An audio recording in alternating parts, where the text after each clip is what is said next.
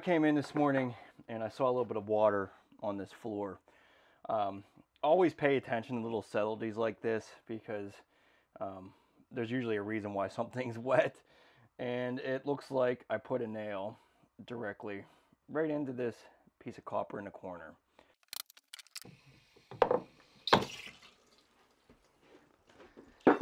Yep, definitely punctured that.